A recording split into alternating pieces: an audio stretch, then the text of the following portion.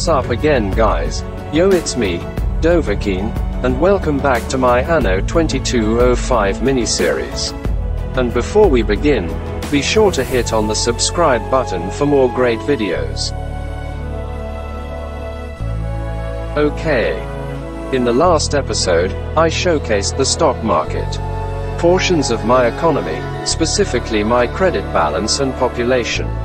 And my roadmap, the path I took on acquiring sectors. And based on that path, the sector that I started on is Wildwater Bay, which came with the self-titled free DLC.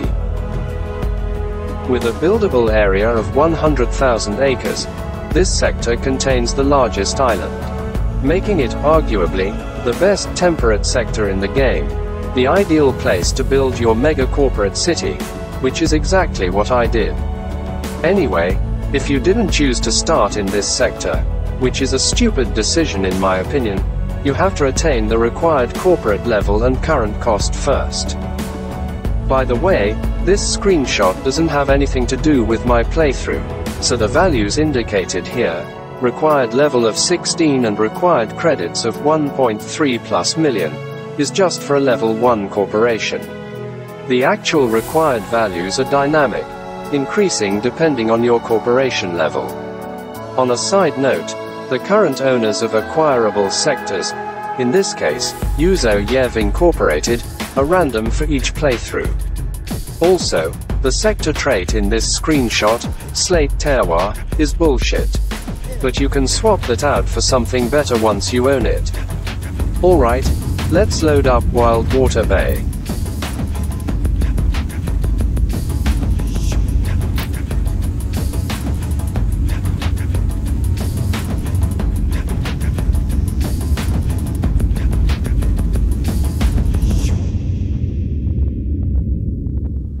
Anyhow, I have more than enough entertainment supply in this sector, so the stadium icon is just a bug.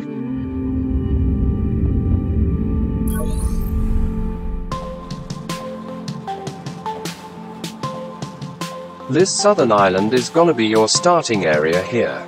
But buying the eastern island, the biggest one in the game, should be your priority ASAP. Build here as you wish, but once you have raised enough funds and resources, move your residences to the big one. I left this one empty, except for a few algae farms, cause I really don't need the space. However, if you don't want to burden your logistics supply on the big island, you can build some of your facilities here. So yes, depending on the number of factories, building them on smaller islands is more logistically efficient than on larger ones. Okay, now to my mega corporate city.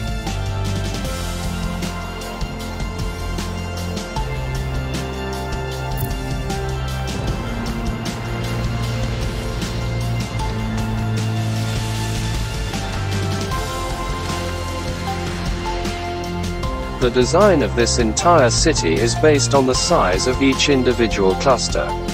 There are eight conventionally shaped clusters in this city, and the rest are just fillers. The worker and operator houses at the bottom left, and those surrounding the corporate HQ, which if added all together, would have roughly the same tier 2 needs as a full-grown cluster. So theoretically, there are 9 clusters in total.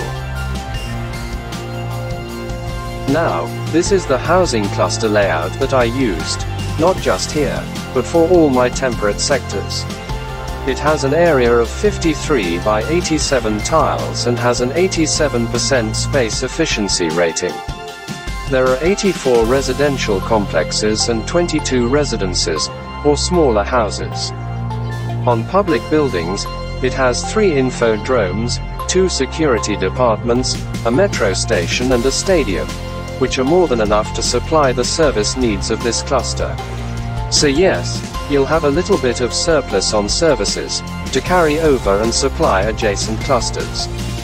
Furthermore, in regards to goods consumption, utilizing a cluster layout, helps you estimate how many factories you have to build in the future. Let's say that you need to construct two rice farms, with complete production modules, to support one cluster. Thus, if you're planning to build five clusters, you would need 10 rice farms. Anyway, the space occupied by the stadium is flexible. If you have the Orbit DLC, you can swap out the stadium for a launch pad, the Biology Institute. And I have two clusters with those setups. On the other hand, as I've intentionally excluded talking about this in my previous episode about the stock market, you can also swap it out for a trading floor instead. Which according to the description, grants additional promotion rights depending on the number of residences in its surroundings. But I'm not really sure about the influence area mechanic, because as soon as you construct it, you can promote any residence, though far away, as long as it is within the same island. Speaking of which, I have three clusters with trading floors. By the way, you might have noticed, in this trading floor configuration, that I can still squeeze in a few more houses in this layout. But as I've said in the last episode, for better aesthetics, I'd rather leave those spaces alone for green zones instead. And speaking of green zones, my corporation HQ sits in the middle of one. And as I've said earlier, it's surrounded by just tier 1, or worker houses to make it stand out from the background. The centerpiece of my mega corporate city. This design uses up all 30 allowable HQ modules, so this is as big as it gets. Also, I could have used the Empire headquarters skin, which is one of the rewards you'll get from the Ubisoft store for purchasing the Ultimate Edition of this game. However, that doesn't tickle my fancy. Too white for my taste. The normal one looks better in my opinion. By the way, I don't have any other corporation HQs in other sectors, making Wildwater Bay the capital of my corporation. Alright, let's visit my production areas. My rice farms are at the southwest.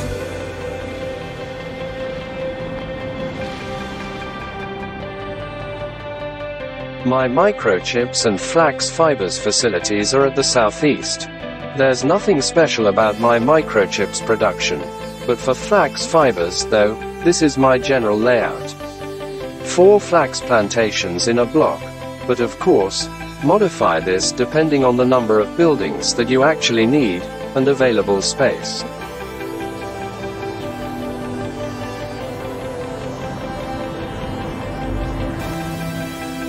Next, northeast of that is my construction materials factories.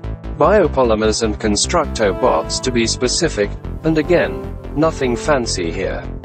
Just take note, that besides here in Wildwater Bay, I don't produce biopolymers and Constructo bots in my other temperate sectors. When I need construction mats elsewhere, I just export them from this sector.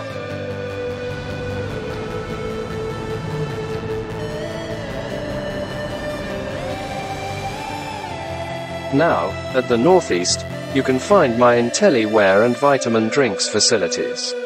Nothing notable for IntelliWare, but for vitamin drinks, this is my universal layout.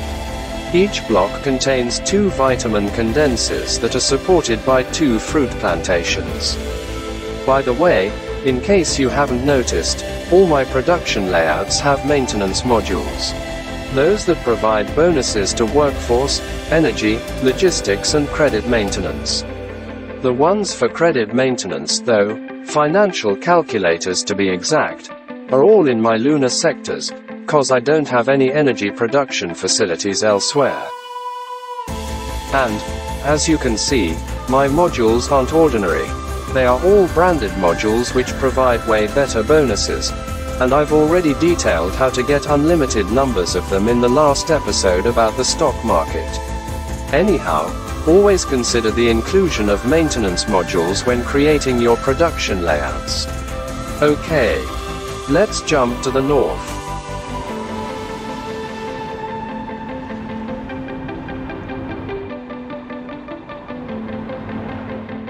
Located here are my synaptic circuits, androids, replicators and multi-spec prisms factories, and there's nothing special about their layouts.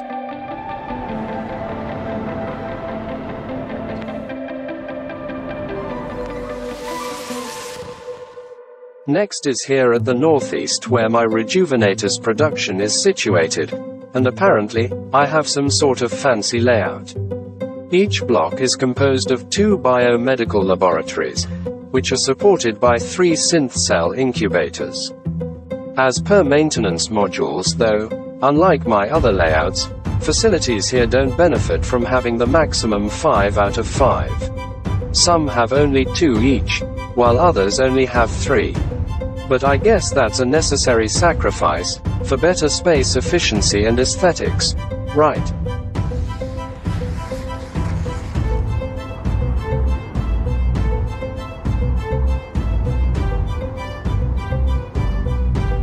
And lastly, we move far north to my luxury food production. There's nothing notable on my vineyards, cattle ranches and food design workshops. For my soy farms, however, this is my simple layout. A block consists of two soy farms, and eight maintenance modules, four for each farm. Okay. That's it for my production layouts. Now, before I talk about the details of this sector, on a separate note, despite of being the largest island in the game, I only have five transportation centers on it. And as I've mentioned earlier, I could have used the other three smaller islands to cut back on logistics, but again, I don't need the space, so I left them untouched. The point is, I was able to lessen my transportation centers, whilst significantly decreasing my energy consumption, by fine-tuning my branded modules. Alright, let's start with sector traits. I started this sector with one of the best random traits, Terra Preta, which boosts the productivity of all farms by 10%.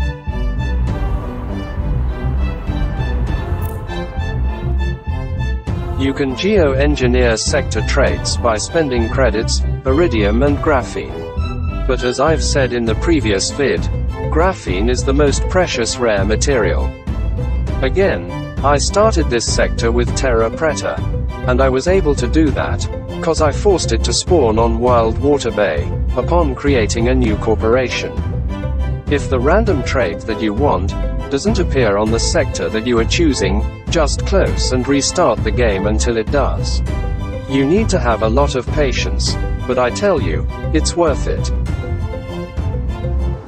And speaking of rare mats, the reward of Wildwater Bay's sector project is iridium generators, of which periodically fill up with a capacity of 75 each. So you have to check up on them from time to time.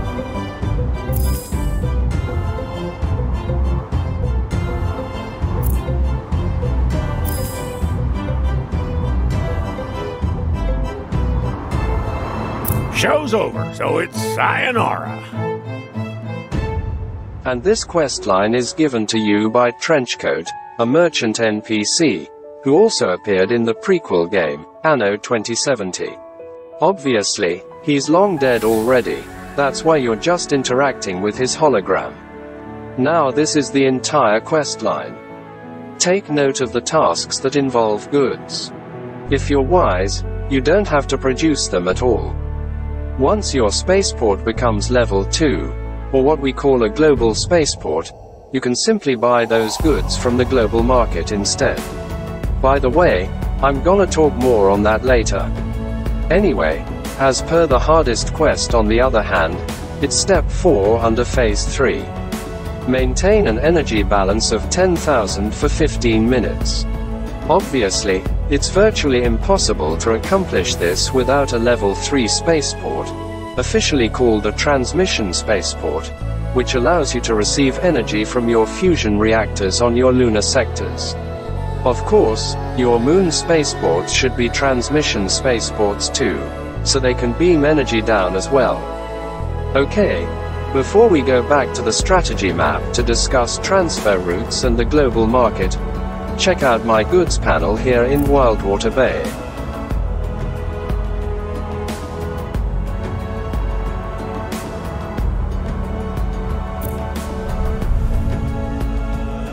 Wildwater Bay supports the needs of Akia flows, namely, vitamin drinks, luxury food, diamonds and replicators. It then gets its Arctic needs from there as well, specifically, neuro implants and quantum computers. As per the Moon on the other hand, it supplies Mare Relictum with rejuvenators, IntelliWare and androids. And in turn, receives its rare earth elements, bio-enhancers, anti-grav compensators and energy supply from there.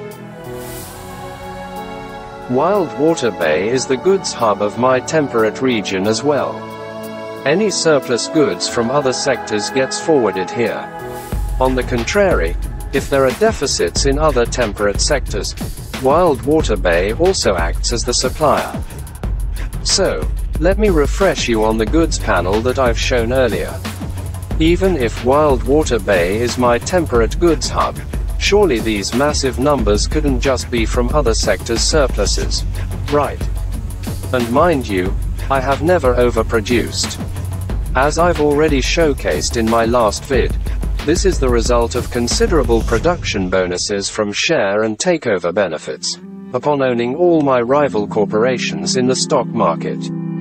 Incidentally, the goods that have zero surplus in this panel are the ones that I'm currently selling to the global market.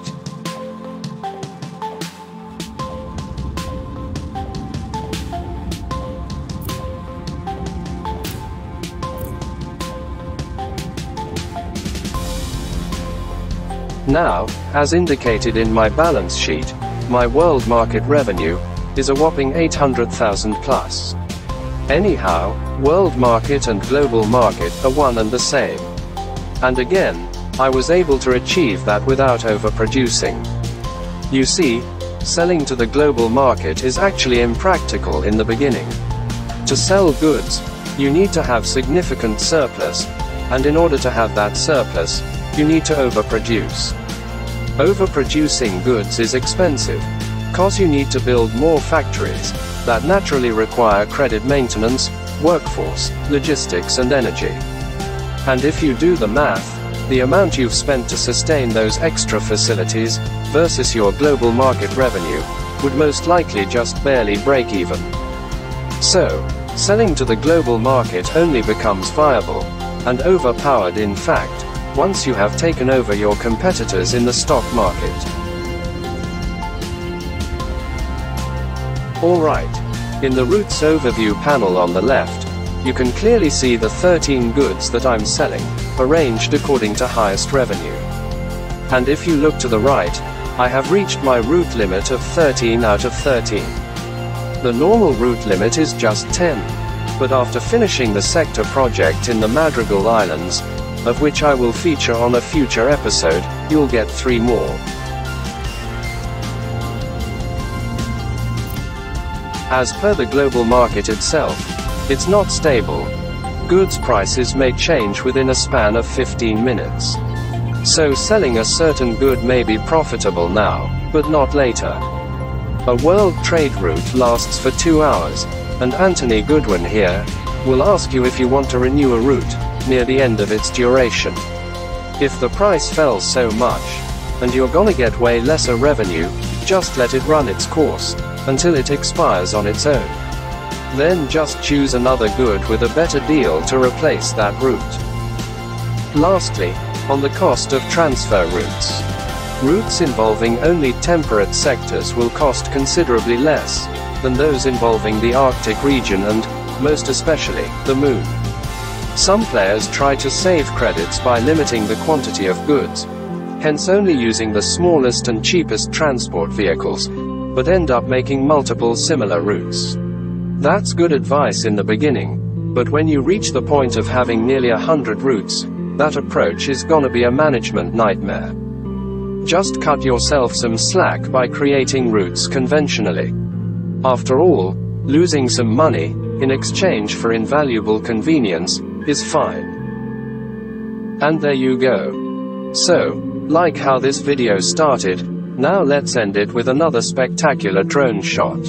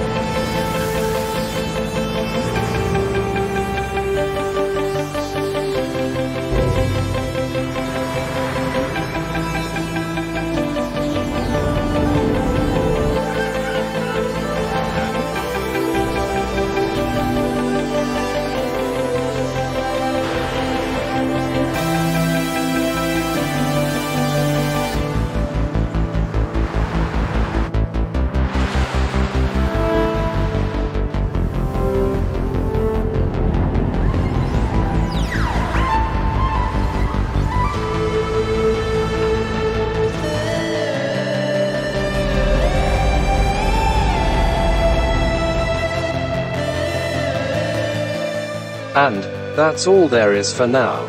Thanks for watching. Also, check out other videos from Sabbath Clan Philippines and don't forget to subscribe. See you on my next vid. Peace out, y'all.